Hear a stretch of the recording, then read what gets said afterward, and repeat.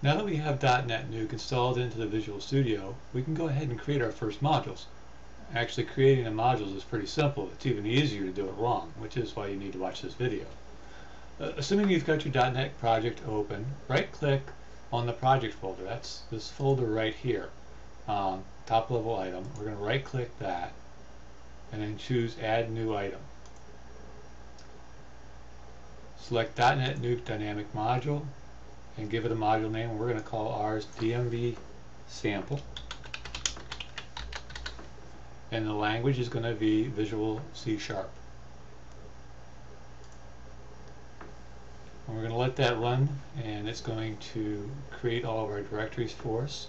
And you'll see there's a couple things that we need to fix up. So we're going to go rename the module name directory under app code to DMB sample.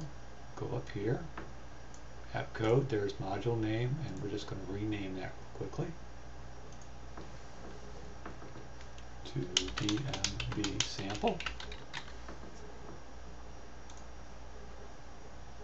And under desktop modules, we want to rename that module name directory. So go back down here to desktop modules. Need that one, module name. We'll rename this here. To DMB sample.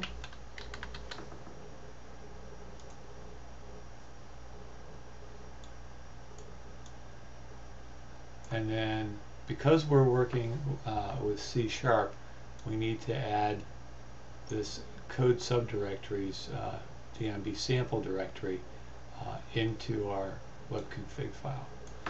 So I'm going to, there should already be a, a code subdirectories uh, element in our web config. So I'm just going to copy out the uh, directory that we need to deal with there. And scroll down here. There's our app code directory. There's already the HTML one in there. This is because DotNetNuke uses a code behind for the HTML now.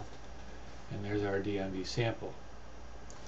Right, and that'll just allow that to build as a separate DLL. Uh, this is how you can actually do mixed uh, VB and C sharp coding uh, within your same uh, VB application as long as uh, the all your C sharp files are all within one directory uh, or all within one se several different directories. So you can do this. Let's we've got that saved. Let's just scroll down here, see if there's anything else. Nope, that's it. So if we've done everything correctly here, we should be able to build this.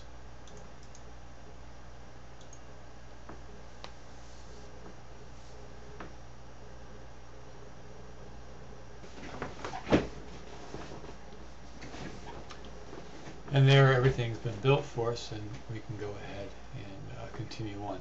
So tomorrow we'll go ahead and actually uh, install this new modules that we've created uh, into the DotNetNuke system so that we can actually see them show up on our page.